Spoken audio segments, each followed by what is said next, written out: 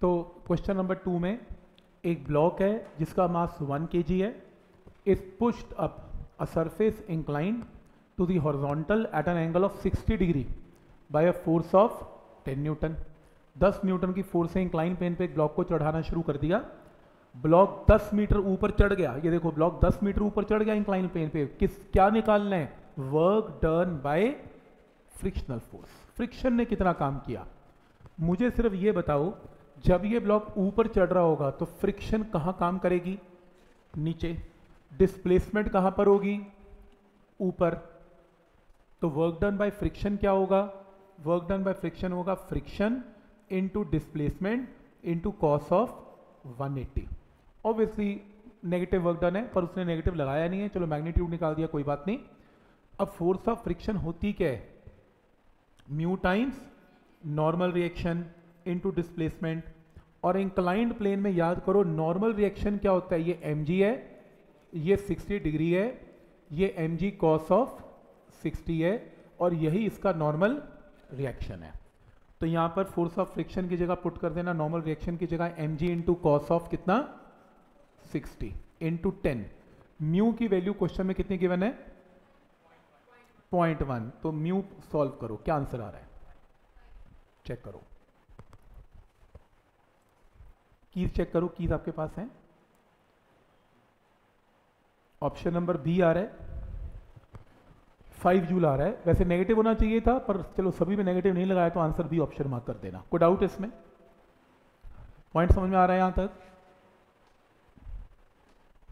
सही? Question number next question number जो करना है, वो ये करना है। इसका आंसर क्या होगा? देखो।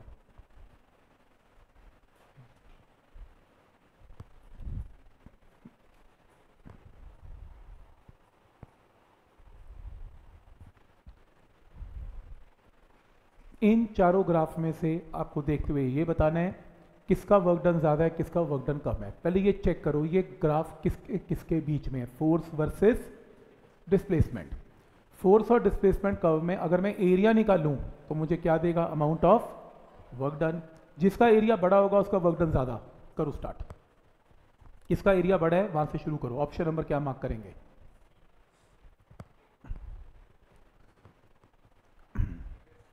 ना, इसका आंसर सी है ही नहीं। अच्छा W3 मतलब W3 ओके ए ऑप्शन होना चाहिए। ए या बी में से क्या मार्क करोगे अगर पेपर में आया तो? ए मार्क करोगे ओके चेक करें। सबसे पहले ग्राफ नंबर वन में ये एरिया देख लो ट्राइंगल के एरियाज़ हैं। ग्राफ नंबर टू में एरिया ये एरिया तो है ही है। साथ में ये एरिया भी ऐड हो गया। तो इसका एरिया इससे तो बड़ा ही है। तो इसका वर्कडन बड़ा हो गया। फिर अगली फिगर में ये तो है ही है। साथ में ट्राइंगल और जोड़ दिया तो इसका एरिया सबसे बड़ा है। फिर ये तो नेगेटिव एरियाज़ है। नेगेटिव में तो वर्कडन घट जाएगा। माइनस हो जाएगा एरिया तो सबसे बड़ा एरिया किसका है? सी का। फिर किसका है? बी का। तो W3 ग्रेटर देन W2 फिर ग्रेटर देन W1 और फिर W4 तो ए ऑप्शन मार्क कर लेना आंसर है। पॉइंट समझ में आ रहा है कि कैसे चेक करना है? एरियाज़ कैसे चेक करने हैं? कौन बड़ा, कौन छोटा? कोई डाउट इसमें? ठीक? नेक्स्ट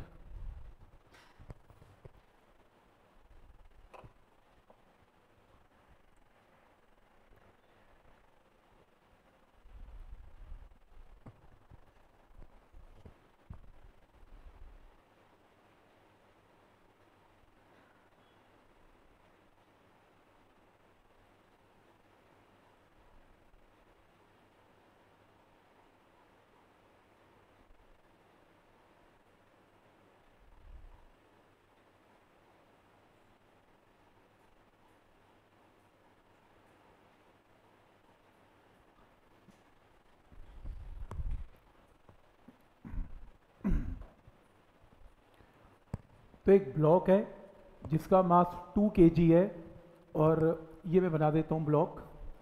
टू के का ब्लॉक है, और इसकी स्पीड कितनी है? फोर मीटर पर सेकेंड है।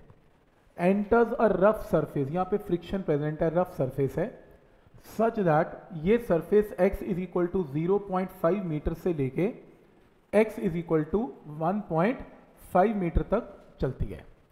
रिटार्डिंग फोर्स की वैल्यू इसमें F is equal to minus k into x है, और आपको K की वैल्यू क्वेश्चन में कितनी गिवन है? 12x है।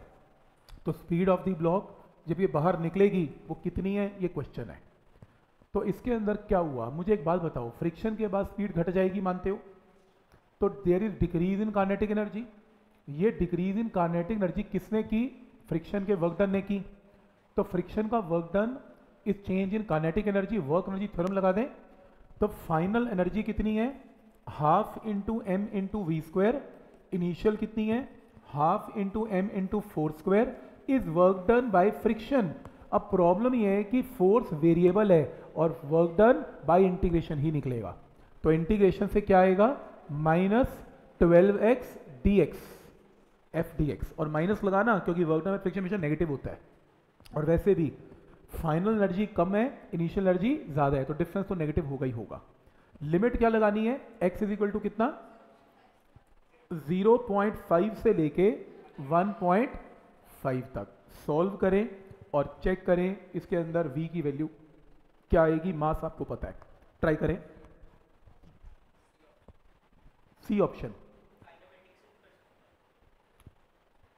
वर्क कैसे निकलेगा फ्रिक्शन का फिर। वेरिएबल फोर्स है। ए कांस्टेंट नहीं है। काइनेमेटिक्स ए कांस्टेंट में काम कर रही थी। अगर कर तो सकते हैं, उसमें इंटीग्रेशन ही यूज़ करनी पड़ेगी उसमें भी।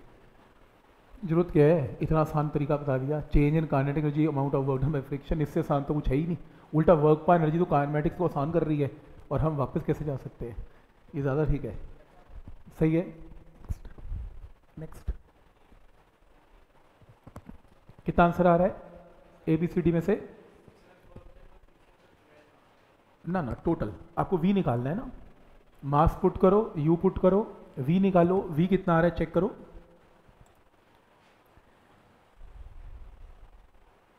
दो मीटर पर सेकंड आना चाहिए इसमें. Two metre per second answer आना चाहिए. सी उसे इंटीग्रेट करो वैल्यूज़ पुट करो और वी की वैल्यू निकालो. ये तो उल्टा एनसीईआरटी के अंदर भी किया था हमने बुकलेट के अंदर वैसा क्वेश्चन किया था। सेम क्वेश्चन है। टू आ रहा है। समझ में आ रहा है यहाँ तक कैसे करना है? कोई डाउट इसमें। ठीक है। नेक्स्ट क्वेश्चन नंबर सिक्स के बाद क्वेश्चन नंबर सेवन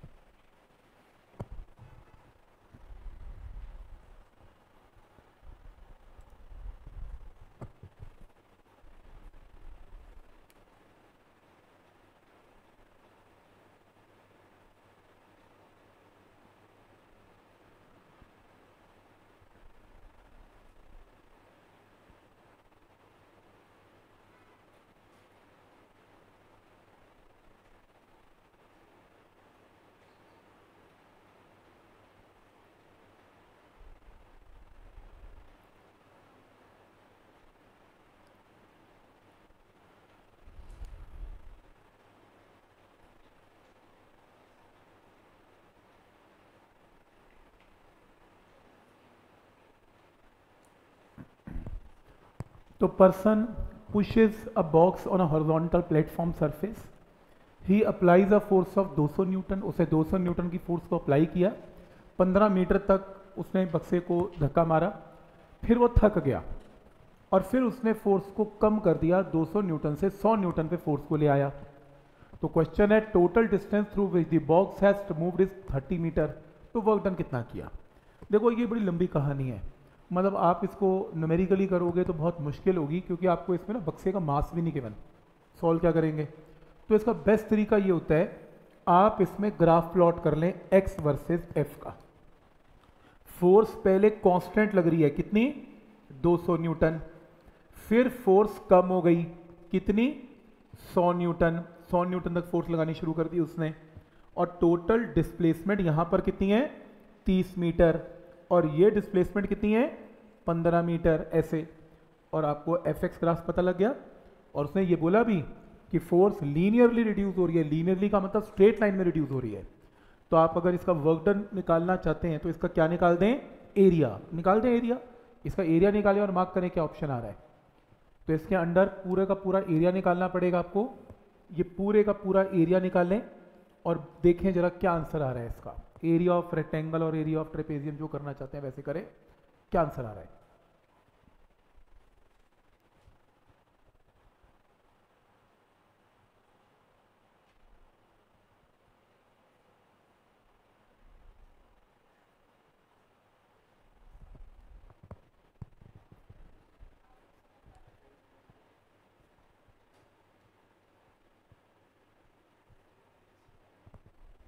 एरिया निकाल लें इसका।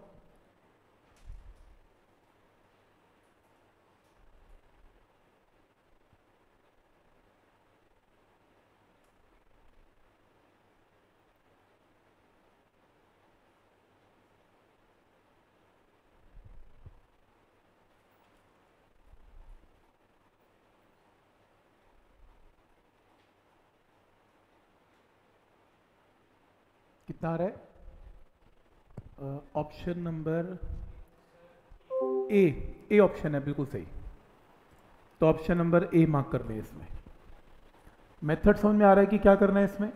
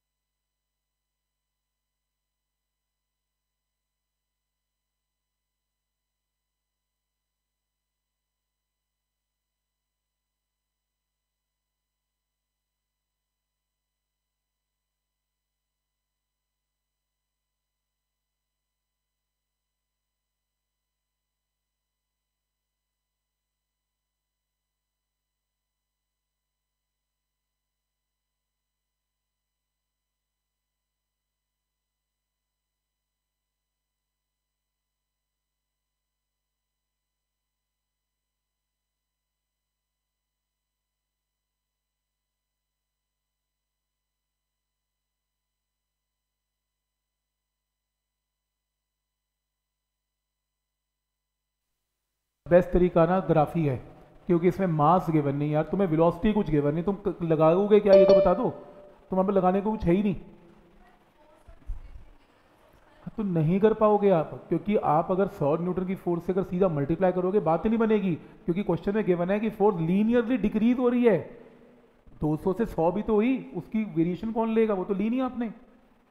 वो ग्राफ नीचे भी तो गिरा, एकदम थोड़े ना सौ हो गया, इसलिए। नेक्स्ट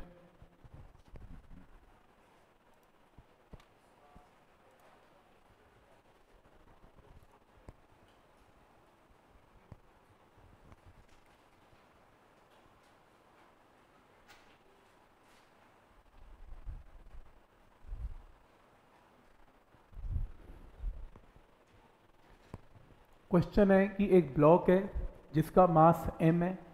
और एक प्लेटफॉर्म के ऊपर रखा गया और ये platform g by two acceleration से ऊपर जा रही है। Work done by normal reaction इसके ऊपर क्या होगा? अब वर्क डन किसका निकालना है? नॉर्मल रिएक्शन का।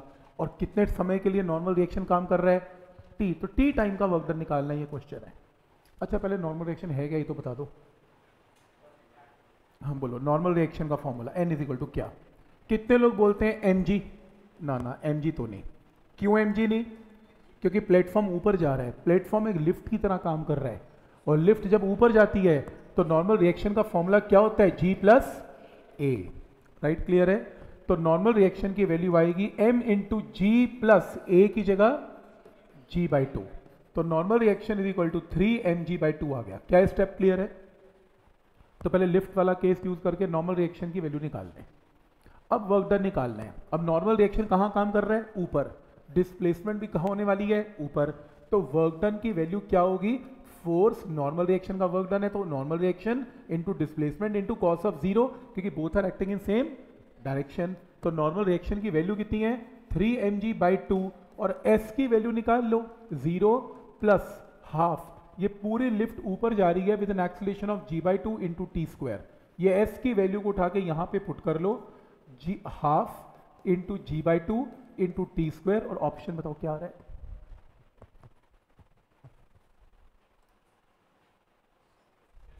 सी ऑप्शन है। सी ऑप्शन आएगा। पॉइंट समझ में आ रहा है कि नॉर्मल रिएक्शन का वर्क डन कैसे निकलेगा?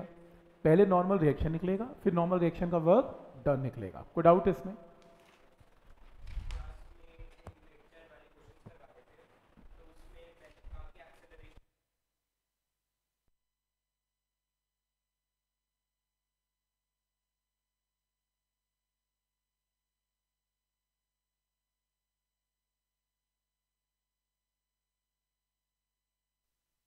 अंदर लगेगा। अगर तुम ये जो फॉर्मूला लगता है N is equal to N minus m g m a वो तब लगता है जब तुम ग्राउंड पे हो। अगर तुम खुद लिफ्ट पे जाके खड़े हो जाओ तो तुम्हें ये मास किस पे नज़र आएगा? रेस्ट पे। और अगर रेस्ट पे नज़र आएगा तो आप क्या बोलेंगे इसमें? इसका वेट एम जी है, और ये सूडो फोर्स एक्सपीरियंस कर रहे हैं एम इंटू कितना? जी बाई टू तो नॉर्मल रिएक्शन क्या इन दोनों को ऐड कर दो। आंसर लगेगा यार, क्यों नहीं लगेगा? पॉइंट समझ में आ रहे हैं यहाँ तक? लगेगा। नेक्स्ट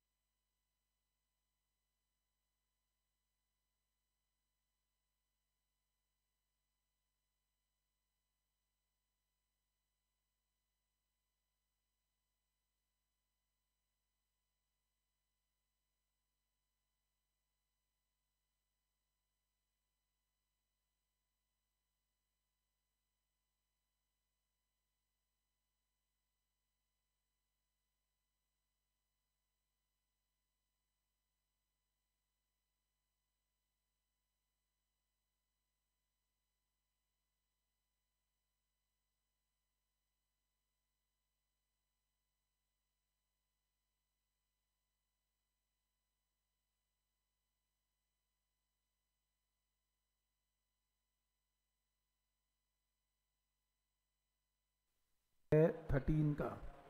हाँ बी है, बिल्कुल सही। चेन वाली प्रॉब्लम है ये हमारी।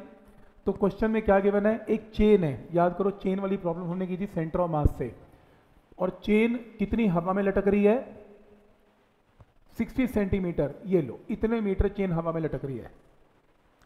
अब पॉइंट सिक्सटी मीटर का मास क्या होगा वो निकाल लें अगर चेन की लेंथ दो मीटर है और टोटल मास कितने? फोर के है तो दो मीटर फोर के जी मास है, one metre four by two mass है, और ज़ीरो पॉइंट सिक्सटी मीटर कितना मास है? Four by two into zero point sixty, इसका मतलब वन पॉइंट टू के जी मास है। तो मास आ गया। तो इस, ये मास कहाँ पर पड़ा होगा? सेंटर ऑफ़ मास पे। 1.2 पॉइंट के जी सेंटर ऑफ़ मास पे पड़ा होगा, और सेंटर ऑफ़ मास से ये डिस्टेंस है कितना? 0.30 0.60 का था 0.30 तो वर्क डन की वैल्यू क्या आएगी? M g इंटू एच की जगह 0.30 बी ऑप्शन मार्क कर लेना। पॉइंट क्लियर है यहाँ तक? तो चेन वाली प्रॉब्लम भी हमने की थी। कैसे करना है, समझ में आ रहा है यहाँ तक?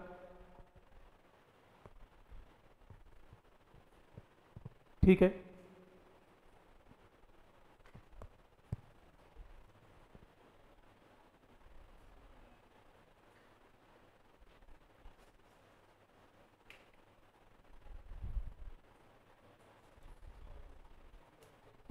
ठीक है यहाँ तक? नेक्स्ट है। नेक्स्ट क्वेश्चन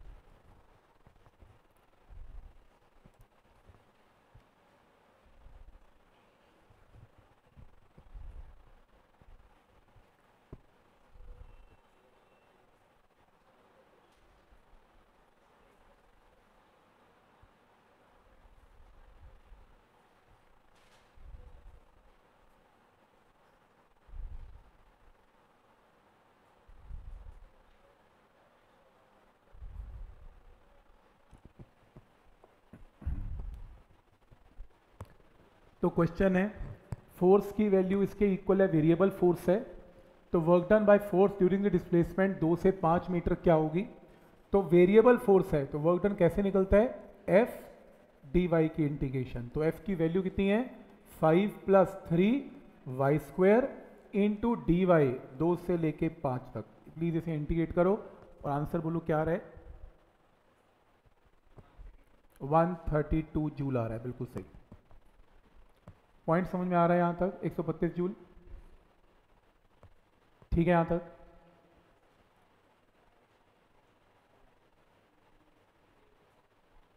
कोई डाउट है इसमें?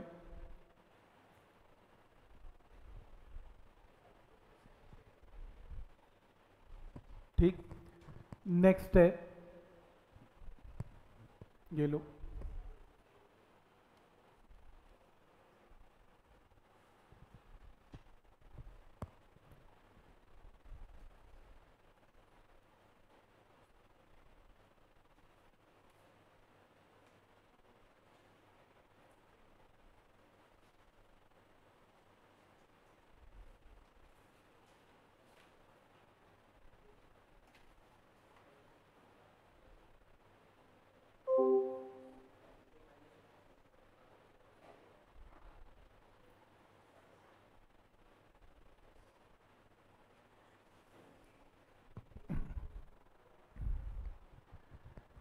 क्वेश्चन है two persons A and B perform same amount of work तो अमाउंट ऑफ़ वर्क डन दोनों बंदों का सेम है, और एक बंदा जो फोर्स लगा रहा है, वो कितने एंगल पर लगा रहा है?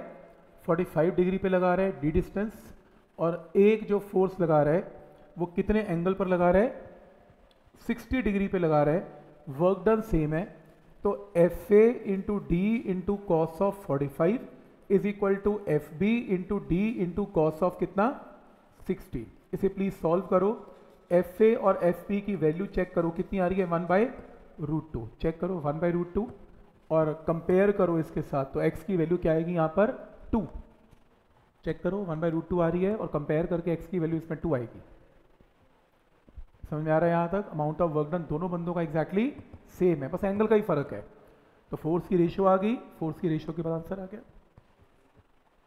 पॉइंट समझ में आ रहा है यहाँ तक?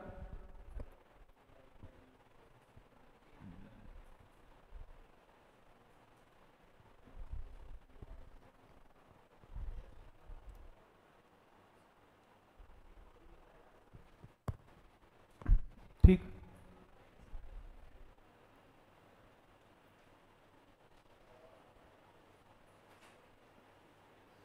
क्या ये पॉइंट यहाँ तक क्लियर है?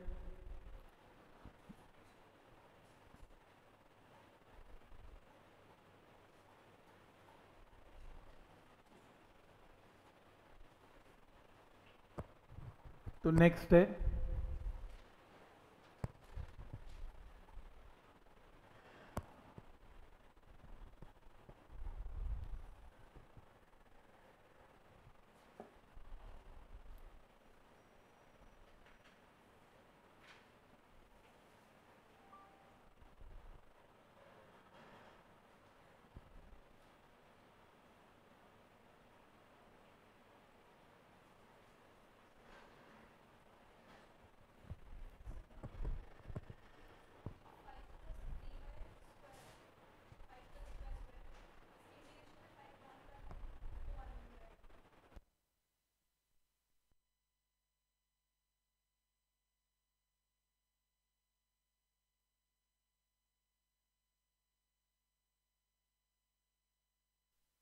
Cricket ball. देखो, ये थोड़ा कंफ्यूजिंग क्वेश्चन लगता है मेरे को।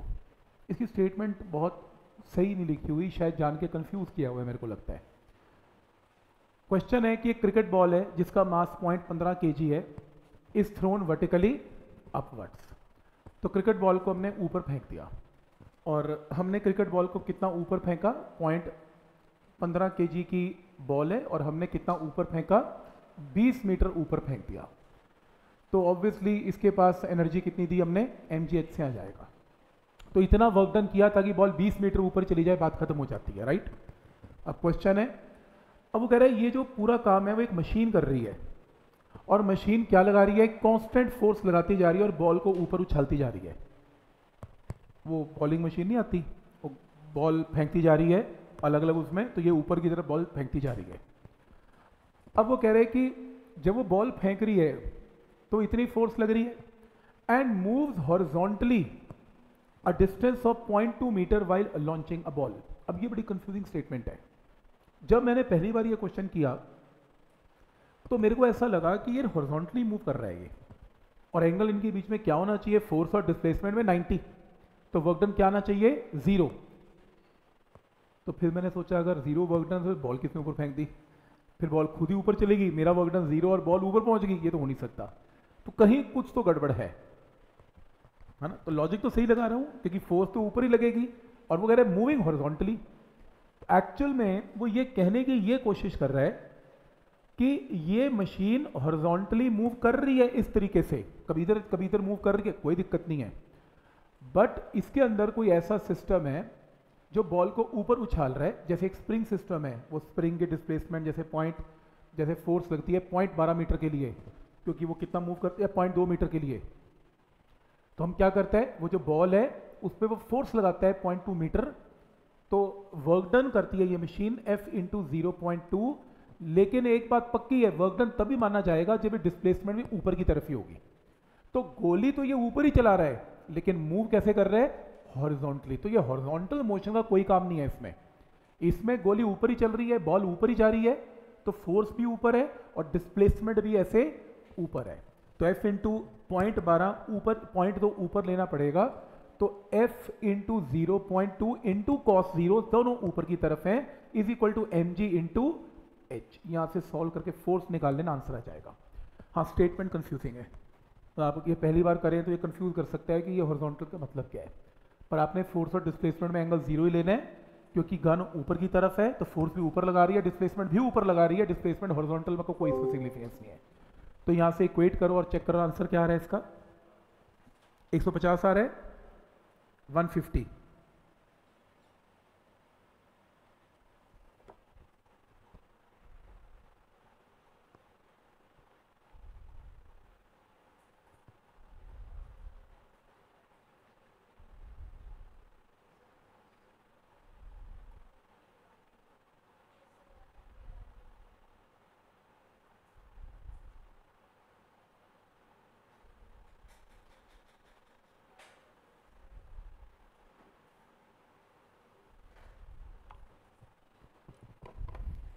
ठीक है?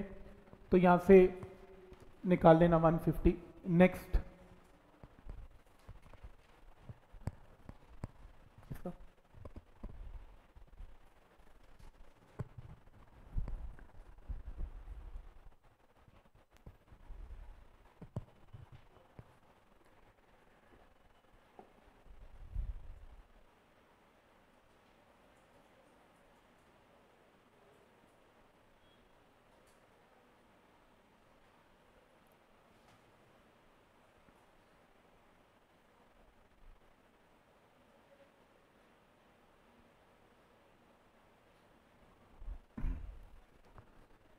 देखो, एक बात तो समझ लो।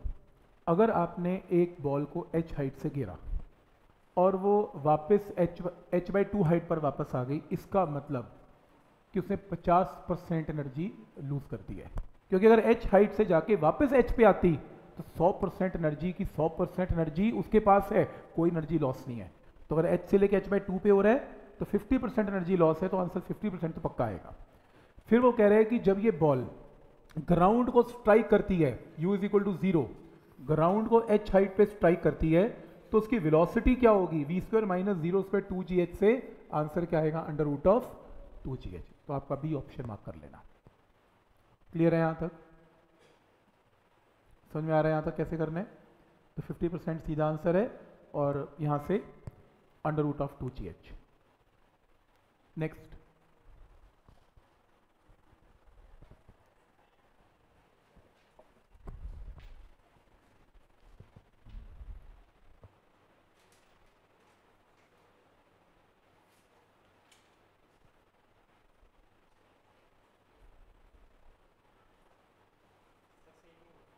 one is to one हमने एनसीईआरटी में किया था कि वर्क डन कंजर्वेटिव है ग्रेविटी के अगेंस्ट मतलब अगर आप एक ऑब्जेक्ट को सीधा लेके जा रहे हैं या इंक्लाइन प्लेन से लेके जा रहे हैं, लेकिन हाइट दोनों की एग्जैक्टली exactly सेम है तो वर्क डन की वैल्यू दोनों में सेम है. तो one is to one is the answer right clear है यहाँ तक? नेक्स्ट तो ये आसान क्वेश्चन है. एक बुलेट है जिसका मास आपको इस क्वेश्चन में गिवन है. And fired with a speed of 100 meter per second और एमर्जेस तो ये बाहर आती है with speed of 40 metres per second percentage loss of kinetic energy क्या है? तो ये तो आसान है। पहले आप इनिशियल कानेटिक एनर्जी निकाल लें half into m into u square से आप फाइनल कानेटिक एनर्जी निकाल लें फाइनल निकाल लें half into m into v square से, फिर परसेंटेज लॉस निकालने के लिए क्या करें? कानेटिक एनर्जी को माइनस कर दें तो ये लॉस आ जाएगा।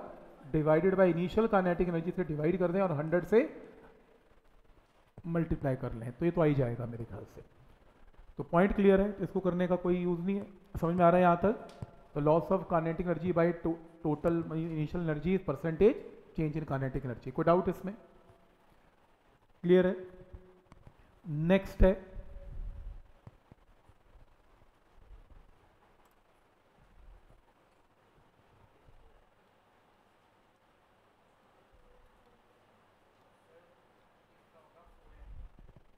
इसका? नहीं एम बाई टू है। इसका आंसर एम बाई टू है। कैसे? क्योंकि चार पार्टिकल्स हैं सेम मोमेंटम है। तो कानेटिक एनर्जी किसकी मैक्सिमम है? एक बात बताओ कानेटिक एनर्जी होती क्या है? P square by two m तो पी तो क्या है सबका? कांस्टेंट है। तो kinetic energy inversely proportional to क्या आ जाएगी? मास अब जिसका मास सबसे कम है। उसकी कार्नेटिक एनर्जी सबसे ज़्यादा है। तो ए ऑप्शन आ गया। मतलब फ़र्स्ट ऑप्शन है एम बाई टू क्लियर है यहाँ तक? नेक्स्ट है।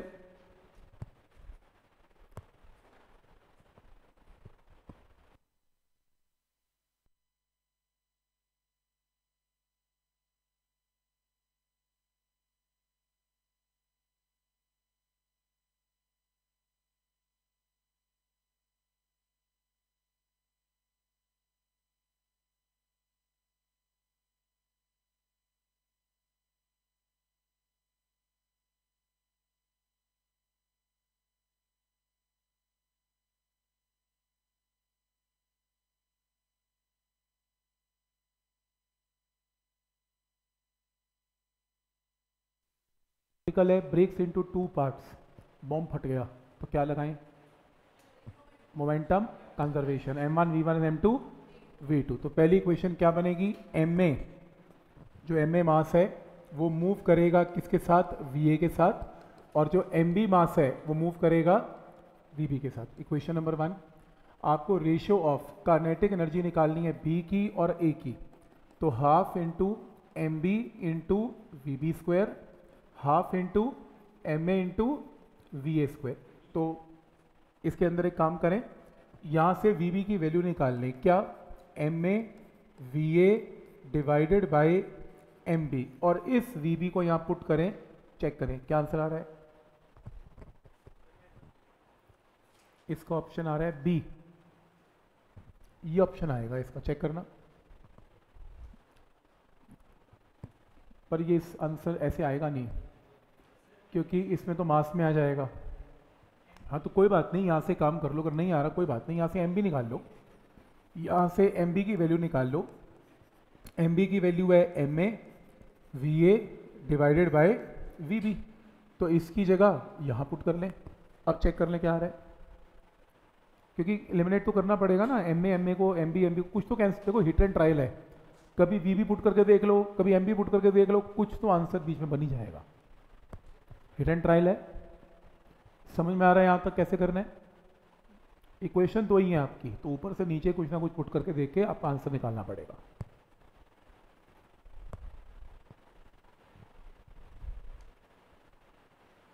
ठीक है यहाँ तक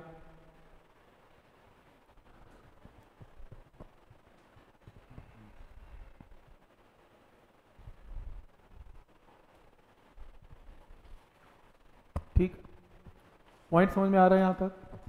नेक्स्ट क्वेश्चन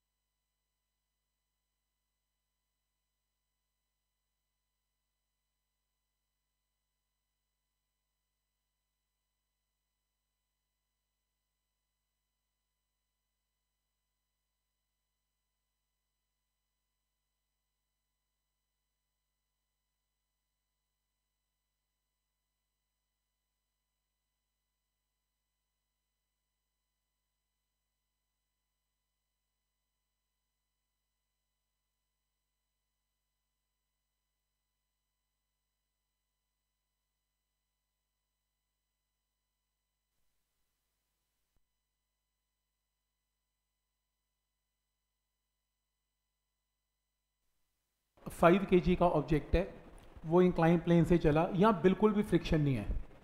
फिर दो मीटर दो मीटर यहाँ से यहाँ फ्रिक्शन प्रेजेंट है, कितनी? म्यू पता है। तो जब ये ऑब्जेक्ट यहाँ से चला तो कितनी हाइट से चला वो निकाल देते हैं? ये 10 मीटर ये 30 तो क्या आएगा? 10 इंटू साइन ऑफ़ 30 राइट तो इसके पास यहाँ पर पोटेंशियल एनर्जी कितनी है? M into m into g into ten into sine of thirty kinetic तो नहीं है potential energy m g h है।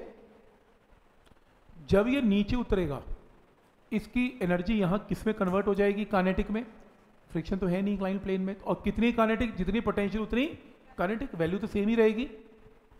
अब जब ये आगे बढ़ेगा तो फ्रिक्शन इसकी एनर्जी को खराब कर देगी। फ्रिक्शन का वर्क डन खराब करेगा लॉस कर देगा।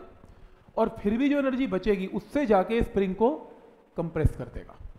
और सारी एनर्जी इसकी खत्म हो जाएगी। तो बेसिकली हो क्या रहा m into g into ten into sine of thirty की एनर्जी क्या करेगी? Work done by friction work done by friction क्या है? Mu time normal reaction into displacement कितनी है? दो मीटर। फ्रिक्शन का वर्क डन ये में इसकी खराब हो जाएगी एनर्जी और बाकी बची हुई एनर्जी से स्प्रिंग क्या हो जाएगा? कंप्रेस और नॉर्मल रिएक्शन यहाँ पर कितना है? 5g क्योंकि जब यहाँ पर आएगा तो नॉर्मल रिएक्शन की वैल्यू यहाँ पर क्या पुट करनी पड़ेगी? 5g सॉल्व करके निकाल लो, x, निकालना, x आ जाएगा। के आपको पता है। निकाल के देख लो आंसर आएगा। पॉइंट समझ में आ रहा है यहाँ तक? जो एनर्जी है, जो आपके पास टॉप मोस्ट पॉइंट पे एनर्जी है, वो वर्क डन बाय फ्रिक्शन में खराब हो गया। वर्क डन बाय फ्रिक्शन में खराब हो गई और बची हुई एनर्जी स्प्रिंग को क्या कर दिया? कंप्रेस कर दिया। तो एक्स निकाल लो आंसर पॉइंट समझ में आ रहा है यहाँ तक? सही?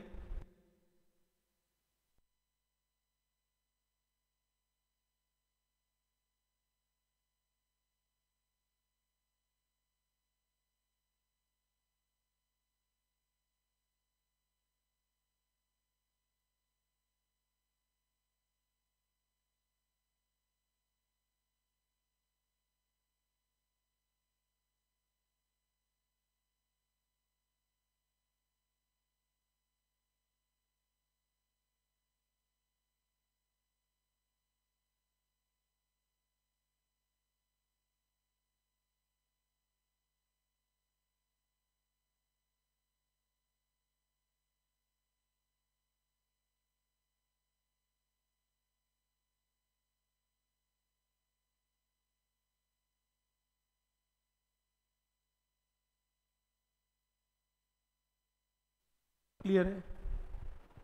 आगे आंसर कितना रहा टू राइट सही है। तो नेक्स्ट क्वेश्चन ये रहा।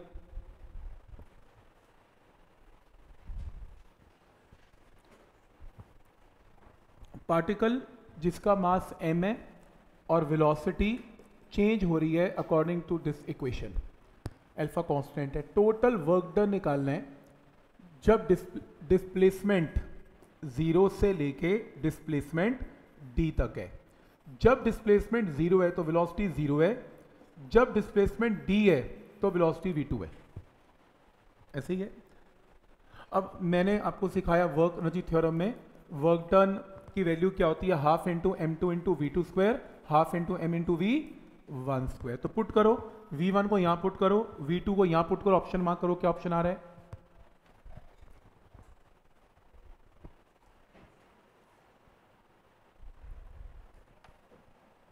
डी आ रहा है। चेक करो, डी आ रहा है कि नहीं आ रहा? ठीक है, यहाँ तक। चेक करो।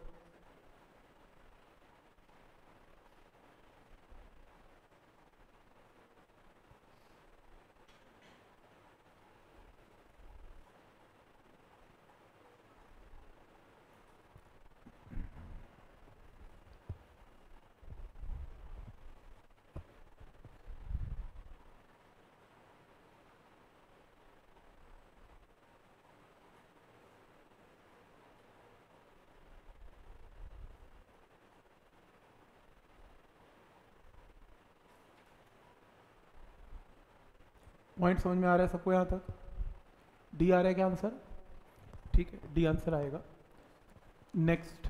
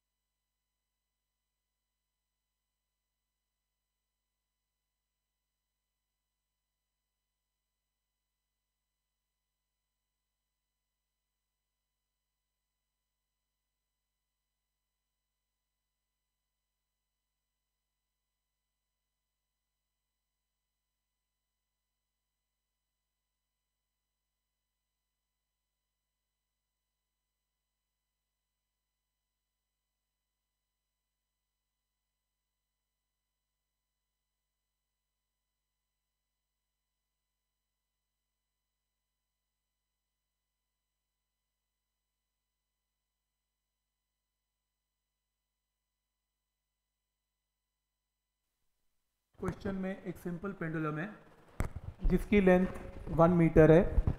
Has a wooden bob of mass one K G ऐसा हमने किया भी था शायद। तो इसमें एक पेंडुलम है, जिसकी लेंथ वन मीटर है।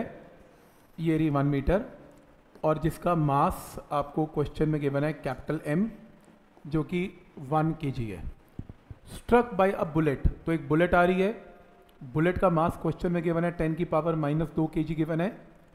और ये इसे हिट करती है और दो इंटू दस की पावर दो की स्पीड के साथ आती है। हिट करती है, फिर ये कॉमन वेलोसिटी के साथ मूव करता है और आपको ये बताना है कि इन्होंने कितनी हाइट अटेन की। ऐसा याद है हमने क्वेश्चन किया करते थे हाइट अटेन की? तो पहले हम क्या करते थे मोमेंटम कंजर्वेशन पहले कॉमन वेलोसिटी के लिए मोमेंटम कंजर्वेशन कैसे? बुलेट आ रही है। बुलेट का मास स्मॉल एम बुलेट की वेलोसिटी आपको पता है is equal to total mass into common velocity सबसे पहले क्या निकलेगी कॉमन वेलोसिटी फिर मैंने क्या बताया था? फिर energy conservation sum of potential and kinetic इस पॉइंट पर and sum of potential and kinetic इस पॉइंट पर will remain same potential zero है, यहाँ पर काइनेटिक ज़ीरो है तो नीचे काइनेटिक क्या है? Half m plus m into v c square is equal to potential क्या है? M plus m into g into h तो यहाँ से क्या हो गया? कैंसल वीसी की वैल्यू को पुट करो और हाइट निकाल लो आंसर कितनी हाइट आ रही है? सी मेथड समझ में आ रहा है? पहले मोमेंटम कंजर्वेशन से कॉमन वेलोसिटी निकलेगी, उसके बाद एनर्जी कंजर्वेशन से क्या होगा? हाइट निकल आएगी.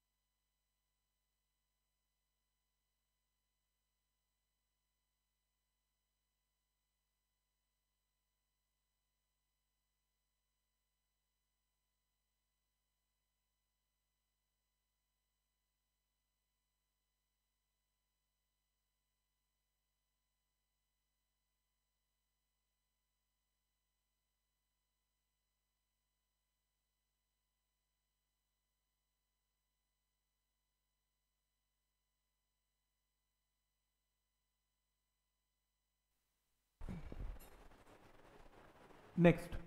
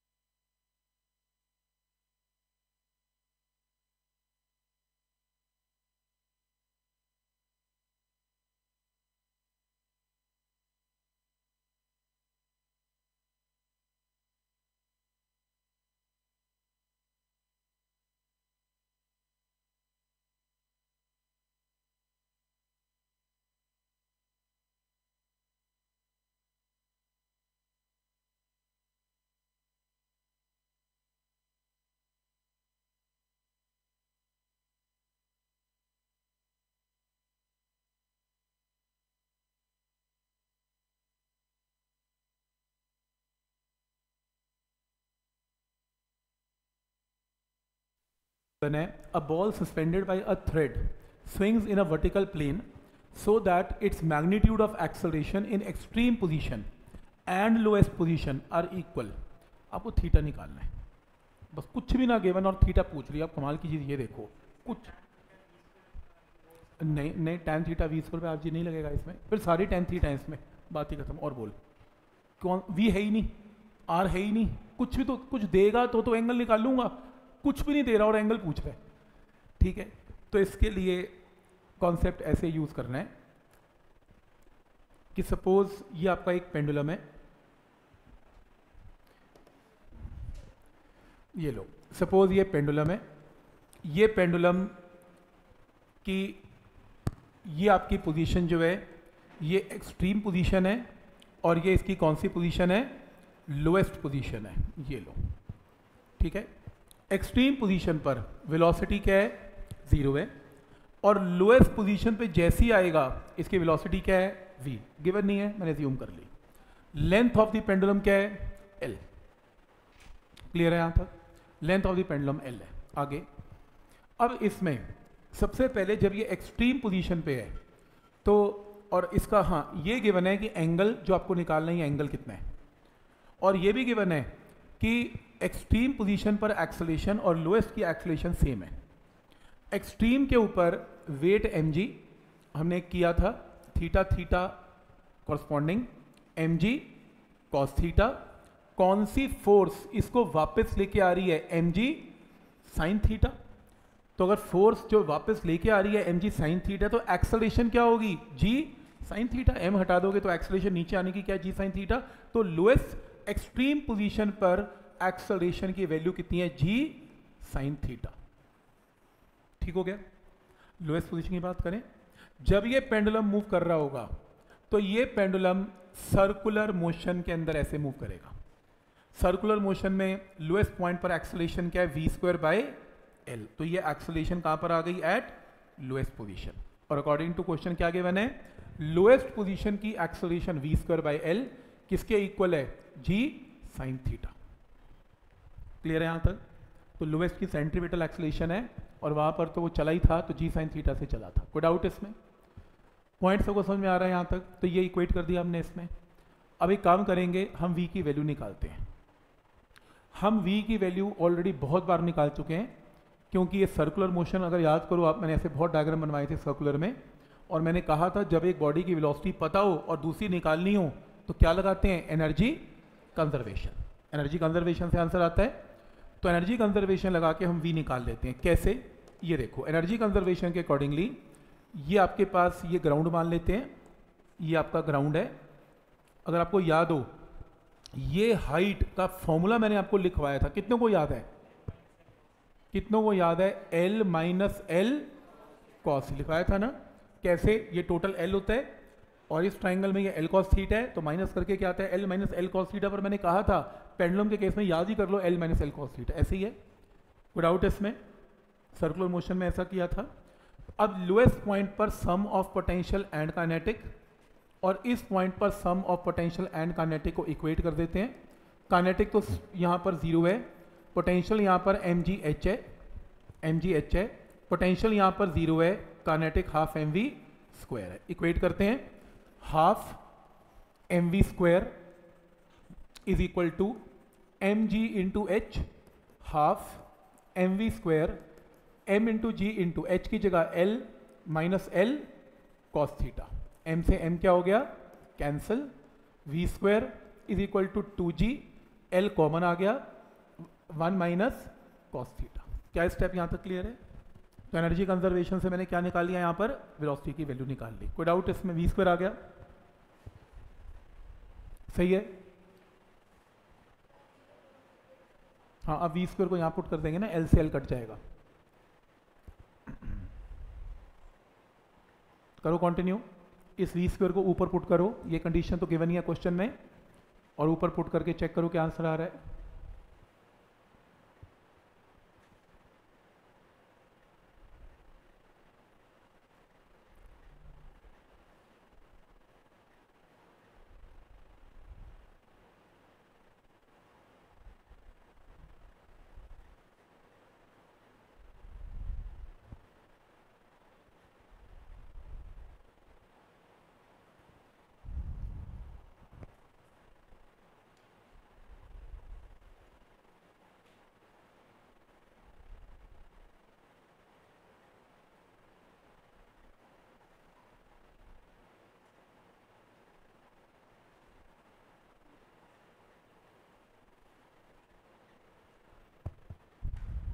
ठीक, ये देखो मैं पुट करने जा रहा हूँ।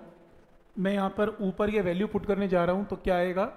मेरे पास वैल्यू आएगी two g l one minus cos theta divided by l is g sine theta is g sine theta l से एल क्या हो गया? कैंसल ठीक है? हाँ चलो जी से जी भी क्या हो गया? कैंसल अब मेरे पास क्या रह गया? मेरे पास बच गया two into one minus cos theta is equal to sine theta maths का फॉर्मूला मेडिकल के लोग देख लें। One minus cos theta maths के लोग बोलें two sine square theta by two maths में करवा दिया होगा। One minus cos theta is two sine square theta by two medical में वैसे आएगा नहीं, ज़्यादा है थोड़ा सा पर फिर भी वन माइनस कॉस थीटा का ये फॉर्मूला है। और sine theta is two into sine into theta by two into cos of theta by two ये लो। साइन थीटा की जगह two into sine of theta by two into cos of theta by two ऐसा क्यों? Medical के लोग देख लें। हमने प्रोजेक्टाइल में एक फॉर्मूला किया था, याद है? साइन टू थीटा रेंज में। Two sine theta into cos theta तो जो ये एंगल होता है, वो आधा हो जाता है। तो अगर मैं एंगल को थीटा कर दूँ तो फिर ये एंगल क्या हो जाएँगे? आधे हो जाएँगे। Theta by two and theta by two समझ में आ रहा है यहाँ तक? तो आधे एंगल हो जाते हैं। तो ये फॉर्मूला आ गया।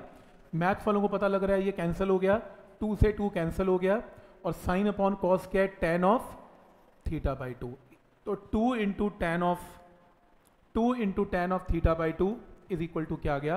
वन क्लियर है यहाँ तक? ये फॉर्मूला मैथ्स का है। मैं कुछ नहीं कर पाऊँगा। ये स्टैंडर्ड फॉर्मूला है। वन माइनस कॉस थीटा का टू साइंस का थीटा बाई टू याद ही करना पड़ेगा ये। ठीक? तो ये वैल्यूज़ है। मेडिकल में चांस कम है, लेकिन फिर भी यार इतना तो थोड़ा बहुत, चलो चलता ही है, इतना फॉर्मूला याद करने में फ़र्क नहीं है। तो यहाँ से अब क्या आ गया? यहाँ से tan of theta by two one by two maths के लोग जानते हैं। एंगल थीटा बाई टू हमने किया भी था वेक्टर में tan inverse one by two याद है ना? टेन जब राइट साइड पे जाता है टेन इनवर्स हो जाता है। ऐसा हमने काफ़ी बार किया था। और ये जो टू है, ये भी राइट साइड पे चला गया। तो टू मल्टीप्लाई हो गया। टेन इनवर्स को नहीं छेड़ना आपने one by two option mark कर लेना आंसर आ गया थीटा का। थोड़ा ज़्यादा है ये नॉन मेडिकल वालों के लिए ठीक है मेडिकल के थोड़ा सा ज़्यादा है ये। आई डाउट मेडिकल का आखिरी वाला पार्ट नहीं आएगा, शायद वेलोसिटी तक तो फिर भी आ सकते हैं निकालना। तो मेडिकल वाले वेलोसिटी तक ही सही है, ये मैथ्स वाला पार्ट उनको नहीं आना चाहिए वैसे। पर नॉन मेडिकल वालों को तो समझ में आ रहा है, यार इतनी मैथ्स तो उनको आती है, इतना तो मेडिकल है आपका? मेडिकल है? ठीक कुछ नहीं है। छोड़ दो। नॉन मेडिकल वालों समझ में आ रहा है क्या करना है? और मेडिकल वालों को इस पोर्शन से ऊपर समझ में आ गया क्या करना है? बस उतना ही बहुत है। उतना ही बहुत है। तो आइडिया समझ में आ रहा है कि किस टाइप से क्वेश्चन सॉल्व हो रहे हैं। राइट right, क्लियर है?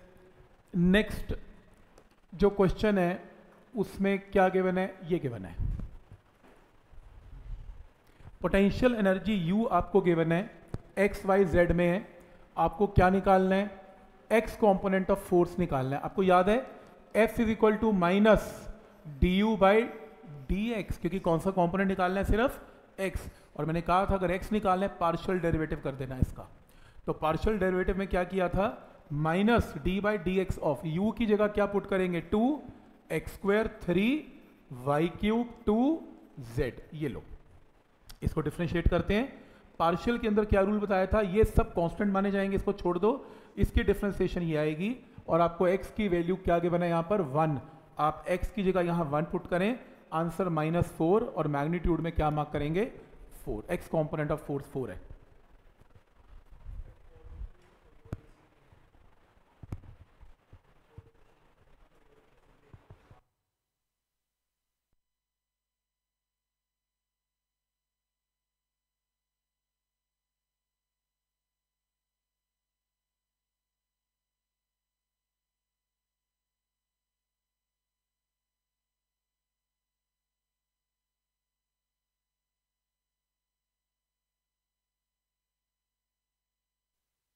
ख्याल से ये तो क्लियर है? नेक्स्ट है। नेक्स्ट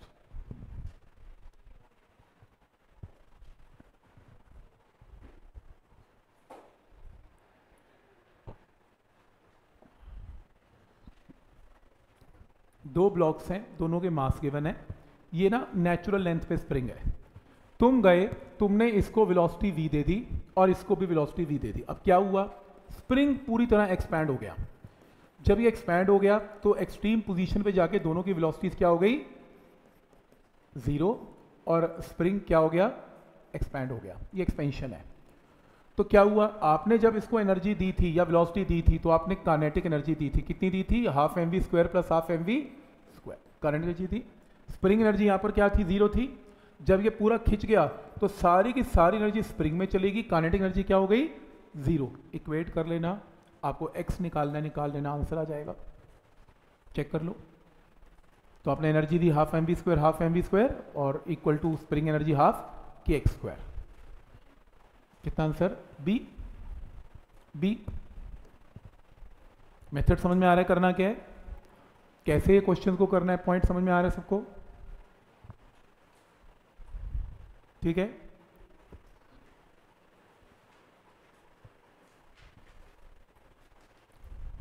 क्लियर है यहाँ तक?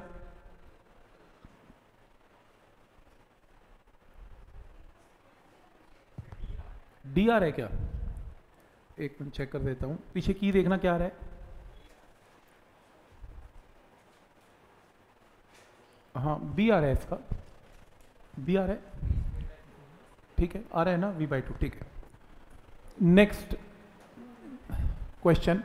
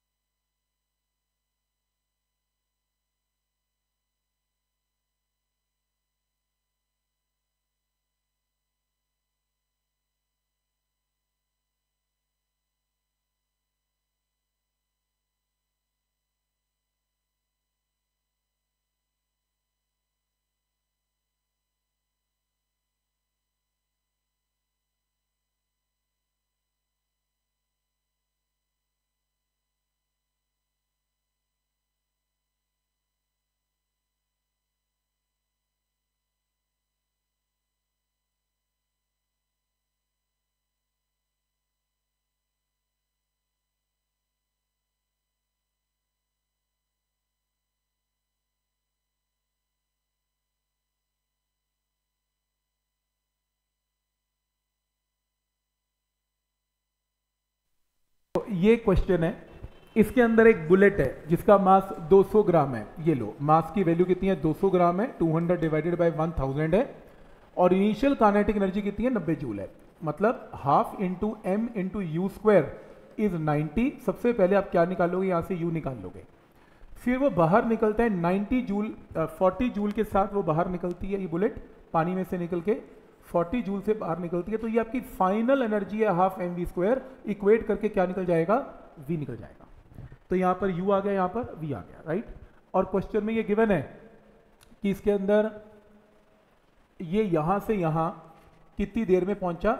एक सेकेंड में, एक सेकेंड में पहुँचता है। तो एक काम करो, आप पहले वी और यू निकाल के वी केस नंबर वन है ये v square minus u square two a s नहीं आप यहाँ पर v is equal to u plus a t लगाओ। यहाँ पे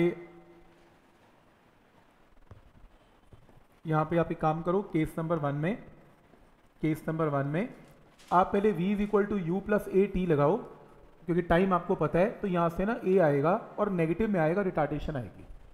V और u की हेल्प से पहले a आएगा रिटार्टेशन आएगी। ठीक है रिटार्डेशन आ गई। पर हमने ये निकालना है कि minimum length of the pool क्या हो? एल क्या हो? कि बुलेट किस पे आ जाए कंप्लीटली रेस्ट पे। अब केस नंबर टू बनाना पड़ेगा। केस नंबर टू में वेलोसिटी u तो सेम रहेगी जो इसकी u निकाली। पर फाइनल वेलोसिटी क्या करनी पड़ेगी? ज़ीरो एल निकालना है। तब केस नंबर टू में लगाओ। V square minus u square is two into a into s तो ए यहाँ से पुट यहाँ करके एल की वैल्यू निकाल लेना आंसर तो पॉइंट समझ में आ रहा है कि दो केस हैं। हमने ऐसे क्वेश्चन किए थे क्लास में प्लैंक वाले। बुलेट घुस गई और प्लैंक में से ये स्विमिंग पूल में से निकाल रहा है एक ही बात है। क्या ही फ़र्क है? तो थोड़ा सा बहुत प्रैक्टिस की बात है। चीज़ें दिख रही हैं क्लियरली कि कैसे इसको करना है। पॉइंट समझ में आ रहा है। दो केस बनेंगे। पहले से ए निकलेगा और फिर इसमें पुट करके क्या निकलेगा? V square minus u square two a s से एल की वैल्यू आ जाएगी आपसे। मेथड समझ में आ रहा है कि क्या रूल है इसमें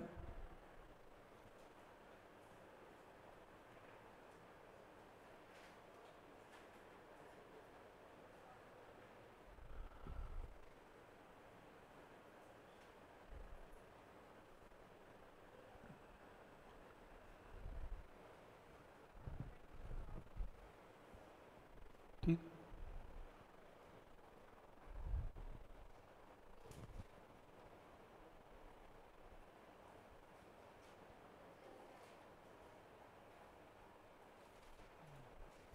हो जाएगा।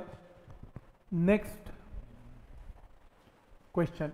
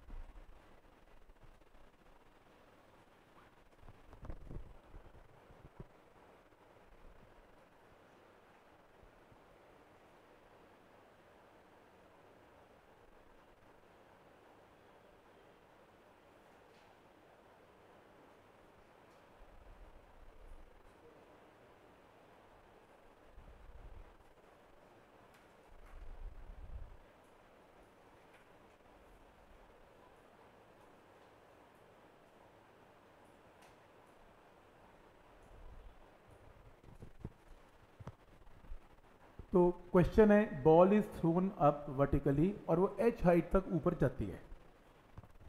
Find the ratio of times in which it is at a height of h by three while going up and coming down respectively बड़ी कंफ्यूजन है इस क्वेश्चन में वैसे। मैं आपको बताता हूँ कंफ्यूजन है कहाँ और करना कैसे है। देखो, सबसे पहले केस नंबर वन बनाते हैं। आपकी जो बॉल है, या जो भी बॉडी है, उसको आपने एच हाइट तक घेरा तो उसकी टॉप मोस्ट पॉइंट पे वेलोसिटी ज़ीरो हो जाती है। इनिशियल वेलोसिटी मुझे नहीं पता क्या है, पर मैं इसमें लगा सकता हूँ v square minus u square two a s और लगा के zero square minus u square two into minus g into h से मैं यू की वैल्यू निकाल लूँगा under root of two g h तो एटलीस्ट मुझे ये पता लग गया कि ये बॉडी को ऊपर फेंका जा रहा है। With velocity of under root of two g h क्या ये पॉइंट क्लियर है यहाँ तक तो मेरा केस क्या बना? मैं अपनी बॉडी को ऊपर फेंक रहा हूँ। मुझे बात समझ में आ रही है। और मैं बॉडी को ऊपर फेंक रहा हूँ with velocity of under root of two g h मैं शुरू करता हूँ। अब वो कह रहे हैं कि रास्ते में एक हाइट आएगी। कितनी हाइट आएगी? एच बाई थ्री ठीक? रास्ते में हाइट क्या आएगी? एच बाई थ्री क्लियर है? तो मेरे को समय निकालना है। अब बॉडी की जर्नी हुई कैसे, ये बताओ। बॉडी कैसे जाएगी? बॉडी यहाँ से चलेगी टॉप पे जाएगी बॉडी फिर ग्राउंड पे वापस गिर जाएगी। तो पूरी जर्नी ग्राउंड से स्टार्ट होकर ग्राउंड पे खत्म हो जाएगी। क्वेश्चन है कि बताओ रेशियो ऑफ़ टाइम कि जब ये बॉडी नीचे से एच बाई थ्री पे आई तो मान लो नीचे से एच बाई थ्री पे कितने समय में आई? टी वन तो ये टाइम है टी वन का। ठीक है तो h बाई थ्री जाने का टाइम क्या है? T1 ठीक? और फिर ये वापस आई। अब वापस आने में क्या हुआ? ये ऊपर गई। ये ऊपर गई। फिर उसके बाद ये नीचे आई और फिर ये डाउन बिल्कुल नीचे आ गई। जर्नी कंप्लीट हो गई। तो यहाँ से घूम के वापस आने का टाइम है T2 आपको रेशियो निकालनी है T1 one is to t जबकि क्वेश्चन में ऐसा अपियर होता है कि आपको टाइम की रेशियो पूछी जा रही है एच बाई थ्री नीचे से और एच बाई थ्री ऊपर से। ऐसा लग रहा है कि इसकी रेशियो निकालनी है और ये रेशियो निकालनी है टाइम की। ना जर्नी को कंप्लीट करना है। डाउन का मतलब बिल्कुल ज़मीन पे आना। तो आपको पूरी जर्नी में यहाँ का टाइम टी वन और बचा हुआ टाइम टी टू की रेशियो निकालनी है। तो पॉइंट समझ में आया क्या क्वेश्चन है? पॉइंट समझ में आ रहा है क्वेश्चन क्या है? तो इस क्वेश्चन को करने के लिए कैलकुलेशन थोड़ी मुश्किल है। बट लेकिन कॉन्सेप्ट वाइज बता देता हूँ करना क्या है। पहले काम करते हैं, यहाँ पे वेलोसिटी निकालते हैं क्या है बॉडी की। यहाँ पे वेलोसिटी यहाँ वेलोसिटी निकालने के लिए मैं काम करता हूँ एनर्जी कंजर्वेशन लगाता हूँ इस पॉइंट पे और इस पॉइंट पर। Sum of potential and kinetic बराबर कर देता हूँ। पोटेंशियल की वैल्यू यहाँ पर क्या है? ज़ीरो कानेटिक क्या है? Half m into under root of two g h का स्क्वायर यहाँ पोटेंशियल क्या है? एम जी इंटू कितना? एच बाई थ्री और कानेटिक कितनी है? Half m into v dash का स्क्वायर मान लो, यहाँ वेलोसिटी वी डैश है। तो यहाँ से इक्वेट करता हूँ। M d m g into h by three half m into v dash का square is equal to half into m into under root of two g h का whole square तो energy conservation लगा के पहले मैं we dash निकाल लेता हूँ। हालाँकि काइनेमेटिक से भी निकल सकती है प्रॉब्लम नहीं है। ऐसे u t plus half a t percent निकल सकता है, पर मैंने मैंने एनर्जी कंजर्वेशन से किया और एनर्जी कंजर्वेशन से मेरे पास जो आंसर आया, वो आया v डैश की value I under root of four g h by three आएगी। मतलब सॉल्व करके मतलब कैलकुलेशन करके v डैश ही आएगा। ठीक है यहाँ तक? पॉइंट समझ में आ रहा है यहाँ तक? तो अब मेरा क्वेश्चन क्या बना? मेरा क्वेश्चन है कि ये जो हाइट है, ये हाइट h है ये जो हाइट है, ये कितनी है? एच बाई थ्री है। मैंने कितनी वेलोसिटी से ऊपर बॉडी को फेंका? रूट टू जी एच इस पॉइंट पर वेलोसिटी कितनी है? Under root of four by three g h ये कहानी है। राइट और यहाँ पे वेलोसिटी ज़ीरो है। अब ये नई कहानी बन गई। क्लियर है यहाँ तक? पॉइंट सबको समझ में आ रहा है कि क्या है इसमें? यहाँ तक हम ये तो मैंने एनर्जी कंजर्वेशन से वेलोसिटी भी निकालनी हो तो कुछ भी निकाला है इसमें। ठीक है? ये पॉइंट समझ में आ गया। अब बिल्कुल साफ़ सुथरा क्वेश्चन बन गया वहाँ पे। करें शुरू। वेलोसिटी तो निकालनी पड़ेगी रास्ते की, तभी कोई आप ज़रूरी नहीं कि एनर्जी कंजर्वेशन से वेलोसिटी निकालें। आप काइनेमेटिक से भी निकाल सकते हैं। पर मेरे को लगता है एनर्जी कंजर्वेशन ज़्यादा ईजी है। उसमें काइनेमेटिक का चक्कर ही नहीं है। तो अब मेरे पास क्या क्वेश्चन बन जाता है? मेरे पास जो क्वेश्चन बनता है, वो ये बनता है कि मेरे को अब समय निकालना है। यहाँ से यहाँ का समय कितना है? टी वन अब मैं काइनेमेटिक्स लगा रहा हूँ। इस पोर्शन में v dash is u plus minus g into t one v dash की जगह under root of four g h by three u की जगह under root of two g h minus g into t one तो यहाँ से solve करके T one निकाल लेना और टी वन की वैल्यू आपके पास ये आ जाएगी root two g h minus four by three g h divided by g t one संभाल के रख लो।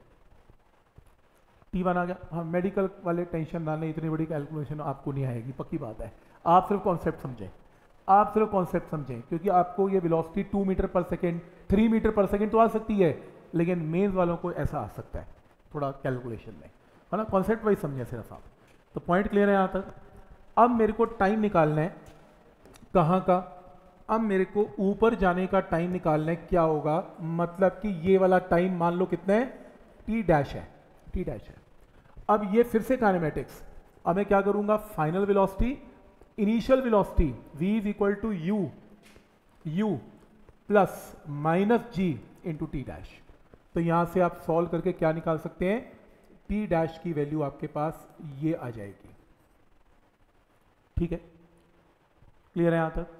अब मेरे को मेरे को क्या निकालना है? मेरे को टी वन तो पता लग गया। अब मेरे को टाइम निकालना है। ये वाला टाइम वापस आने का टाइम आने और जाने का टाइम हमेशा क्या होता है? सेम है ना? ऊपर टी डैश तो नीचे भी टी डैश और ये वाला टाइम और ये वाला टाइम भी क्या होगा? टी वन क्योंकि आने और जाने का टाइम सेम तो टोटल टाइम क्या बनेगा? ग्रीन कलर में जो बनेगा। टोटल टाइम टी टू क्या बनेगा? T dash plus t dash plus t one तो टोटल टाइम क्या बनेगा? T dash plus t dash plus t one अब टी डैश तुम्हें पता है टी वन तुम्हें पता है टी टू आ गया। और फाइनली तुम्हें क्या निकालना है? रेशियो निकालनी है t one is to t two की। केमिस्ट्री के दो क्वेश्चन और कर लेना इसकी जगह। ठीक है? कर सको तो कर लेना। तो यहाँ से इसकी जो कैलकुलेशन है, आप चेक कर सकते हो। इसकी कैलकुलेशन देखने में पता लगी रही है। काफ़ी कॉम्प्लेक्स है। मैथ वाले करते रहेंगे बैठ के ये कॉन्सेप्ट ऐसा कुछ करना है। पॉइंट समझ में आ रहे हैं यहाँ तक? मेडिकल वाले रिलैक्स रहे हैं, उनकी ज़िंदगी में कभी नहीं आएगा। पक्की बात है ये। ठीक है? नेक्स्ट नेक्स्ट क्वेश्चन ये आएगा। ये तो आता है भाई, ये तो नॉर्मल है। सारे क्वेश्चन थोड़ा है। एक आध क्वेश्चन होता है ऐसा। नेक्स्ट ये आता है। आपको एक वेरिएबल फोर्स गिवन है। देख रहे हो? वेरिएबल कैसे पता लगा? एक्स भी आ रहा है और बीच में वाई भी आ रहा है। आपको वर्क डन निकालना है। जब आपकी बॉडी इस पॉइंट से इस पॉइंट तक मूव कर रही है, आप एक काम करें, आप पहले ना एक्स एक्सिस का वर्क डन निकाल लें। एक्स एक्सिस में वर्क डन क्या होगा? फोर्स एक्स एक्सिस की इंटू डी एक्स और ऐसी वाई एक्सिस का निकाल लें। वाई एक्सिस में वर्क डन की वैल्यू क्या होगी? Force three y square into अलग अलग निकाल लें अलग अलग कर लें आई को अलग कर लें जे को अलग कर लें। और लिमिट बोलो एक्स की क्या लगेगी? वन से लेके टू तक। और लिमिट वाई की क्या लगेगी? टू से लेके थ्री तक। तो डब्ल्यू वन आ गया डब्ल्यू टू आ गया। टोटल वर्क डन क्या होगा? W one plus W two तो इसे इंटीग्रेट कर लें। एक्स की इंटीग्रेशन अलग है वाई की अलग है। दोनों वर्क डन को ऐड कर लें। ऐड कर लें और आंसर चेक कर लें। पच्चीस आ रहा है। टेस्टेड है, पच्चीस ही आएगा। चेक कर लें इंटीग्रेशन से। मेथड समझ में आ रहा है कि कैसे करना है इसमें? आज की बात ये प्रॉब्लम आएगी समझ में आ रहा है कैसे करनी है एक्स को अलग करना है वाई को अलग इंटीग्रेट करके ऐड कर देना है।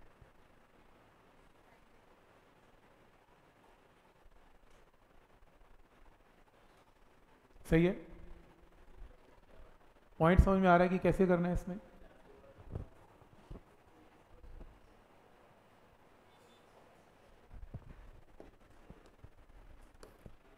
ये क्वेश्चन ऑलरेडी हमने किया हुआ है।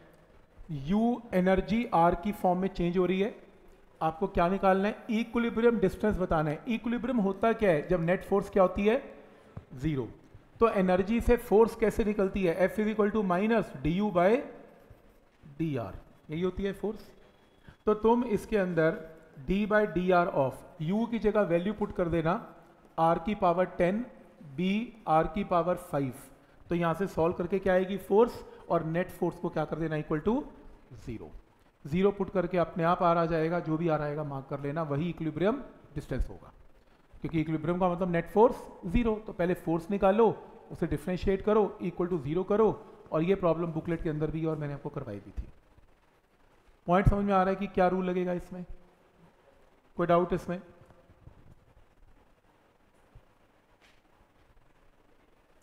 ये भी करवाई थी सर्कुलर में वैसे तो पर आपको याद नहीं आएगी इतनी। क्वेश्चन पढ़ लो।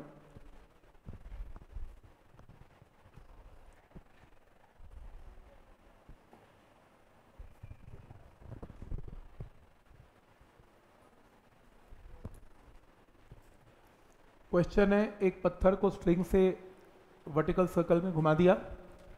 At a certain instant of time stone is at the lowest position had a speed of u तो magnitude of change in velocity velocity नहीं चेंज इन वेलोसिटी जब वो कहाँ पर पहुंचेगा? हॉरिजॉन्टल तो ये चेंज इन वेलोसिटी गिवन है। कंपेयर करके एक्स निकालना है। देखो इजी क्वेश्चन है। या देखने में ऐसा है। तो आप इसको, आपको क्वेश्चन में ऐसे गिवन है कि सपोज़ ये आपके पास एक पेंडुलम है और ये पेंडुलम हॉरिजॉन्टल हो जाता है। यहाँ पे इसकी वेलोसिटी गिवन है यू गिवन है यू जब ये सर्कुलर मोशन में मूव करता है यहाँ पे मूव कर रहा था वेलोसिटी गिवन नहीं है, पर वी वेलोसिटी है।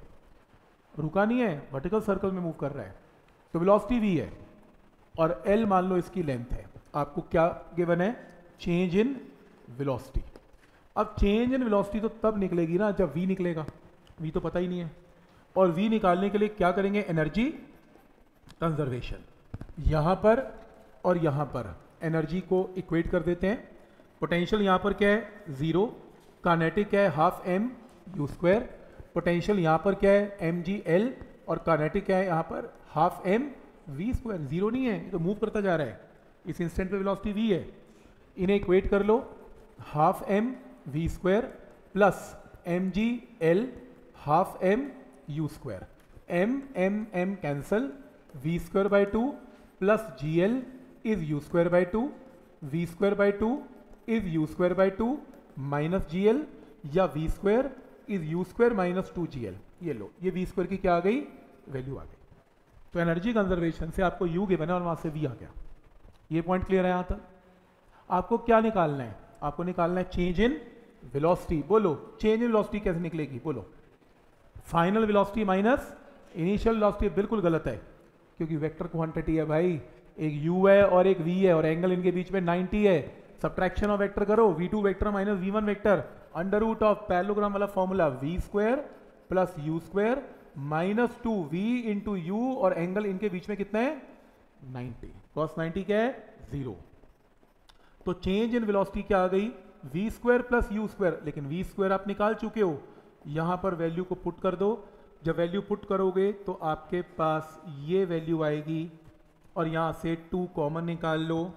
U square minus two g l आएगा।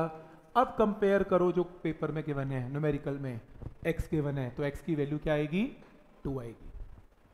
बुकलेट चेक कर लेना बुकलेट की प्रॉब्लम है ये। करवाई थी change in velocity circular motion में। अब ये प्रॉब्लम है रिटेन करने की। याद ही नहीं रहता बंदे ने ज़िंदगी में किया था, नहीं किया था। याद रह गया तो ठीक है। पॉइंट समझ में आ रहा है यहाँ तक? कोई डाउट इसमें? हाँ ये आ सकती है भाई, ये मेडिकल में भी। कोई बड़ी बात नहीं है। चेंज इन वेलोसिटी कोई बड़ी बात ही निकाली हमने। ठीक है? पर कॉन्सेप्ट समझ में आ रहा है यहाँ तक? आप सर्कुलर मोशन की वीडियो चेक कर लेना सेम क्वेश्चन किया हुआ है, ये आंसर है उसका। और बुकलेट के अंदर भी दिखा सकता हूँ सेम आंसर है। ठीक है?